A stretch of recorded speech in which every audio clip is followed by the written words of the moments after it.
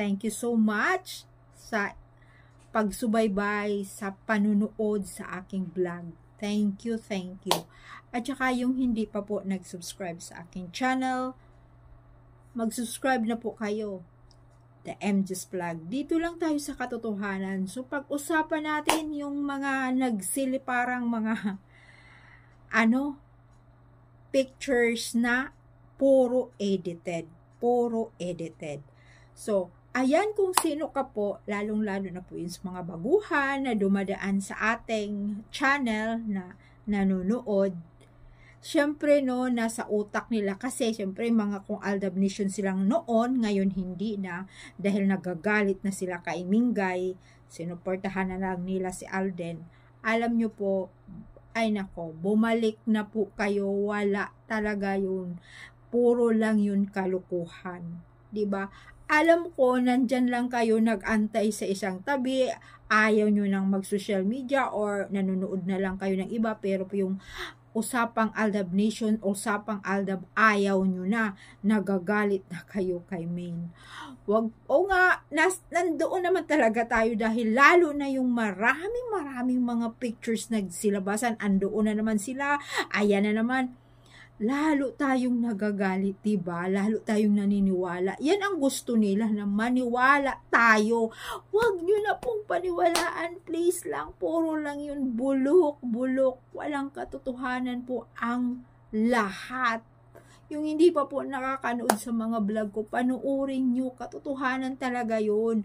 Naku, naku talaga, puro lang yan sa showbiz, puro lang, naku, ba sa showbiz, puro pira talaga. Eh, kaya nga yung iba dyan, mag-artista para magkapera, kayo naman, mga adabnation, bumalik na kayo.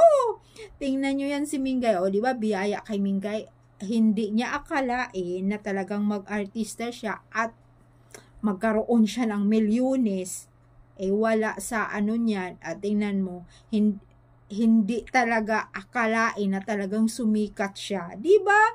Kita nyo, yung iba nagmamakahirap na nag-audition pero siya easy-easy lang siya at biglang nag-boom. Ganon talaga. Kaya nga, showbiz pera lang yun. Alalahanin nyo.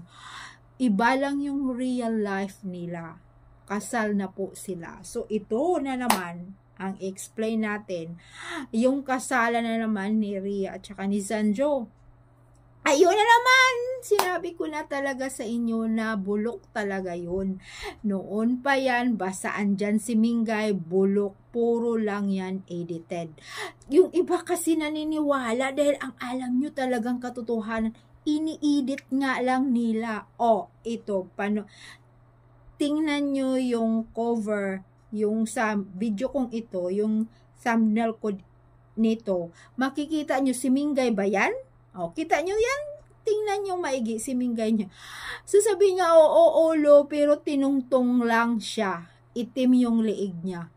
Makita nyo, at kung sasabihin mo, ano, eh, eh, hindi totoo yun. Edited nga, itim nga yung liig niya. Ang dami ang nakaka ay nako, kahit hindi po kayo eksperto, silipin yung maigi lahat-lahat. Tapos, ayan siya. Panay na lang siya tabi nung ni Mudra tapos ni ano yung sa tatay ni Konggi siguro walang mapagpatungan kung saan nila ilalagay yung ulo. Mas doon ang ano, parang may space doon sa kay Mudra doon. Pero si Konggi andoon kung asawa niya, eh bakit ang layo niya? 'Di ba? Hindi eh ang binabanggit talaga sa ano sa may yung may balita ang binabanggit doon andoon si Eddie alam nyo na kung sino si Eddie. Alam nyo na yan kung sino si Eddie sa buhay ni Kongge. so, alam nyo yan mga palangga, talagang gagawan talaga nila ng paraan. O, di ba? Gagawa nila ng paraan para talaga paghiwalayin tayo. Maniwala kayo. Yun po ang katotohanan. Basta sinasabi ko sa inyo, once na nandyan si Mingay sa side ni Kunggi, wala, bulok. Tapos ito, ayan na naman, isingit din natin si Alden. So, grabe na naman na edited. Okay, andoon sa party ni ano, ni, ni Catherine, saan ba yung uh, birthday niya, andoon din si Alden, edited po yon Sinasabi ko na sa edited, edited, edited yun. Tapos andoon mga lalaki mayroong ganun na ka ka kapictura ni ano ni Catherine. Mayroon pang puro anak wala po yung katotohanan. Gawa-gawa lang din yan. Lalo yung kay Alden ay kasi nga mayroon iwan ko kung sino na naman nag-edit eh syempre fans din yan ni Alden alam nyo yan gusto kasi 'di ba na gawan ng pelikula. Part 2 yung hello, love, goodbye. Purpose doon ni. Eh. Gusto nilang paingayin yun para big, uh, gawa na naman ng pelikula. Yun ah. Yun talaga yun. Mm, 'di ba?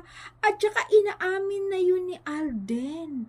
Kailan lang na hindi ako manghihimasok sa mga tapos kasi siya ang binibintangan kaya Kisho naghihiwalay si ano si Catherine at saka si Daniel dahil ayan ayan na naman si Alden sabi talaga ni Alden hindi po siya yung pangalan ng hihimasok or wala siyang pakialam doon.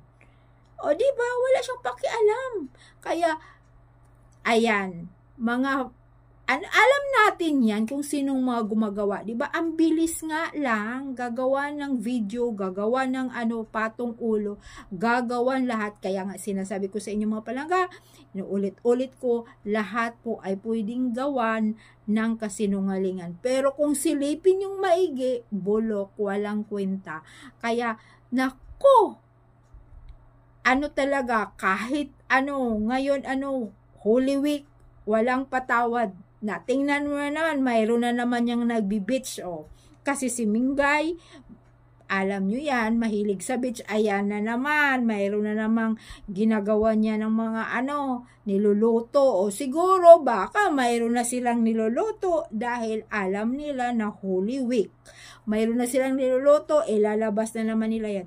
Sa bagay, this, inuulit-ulit ko talaga yan mga palangga, nako sa inyo, paalaala lang, puro lang talaga yung kasinungalingan, kasinungalingan, kaikikan, ka, kalukuhan ng mga sarswilistas sa mga ay nako sa side ni Mingay yun. Yung gumagawa kay Alden syempre ayaw nila yan kay Mingay. Dahil ang gusto na single. Kahit alam nilang katotohanan double na yung kanilang idolo. Kaya thank you so much sa inyong lahat mga palangga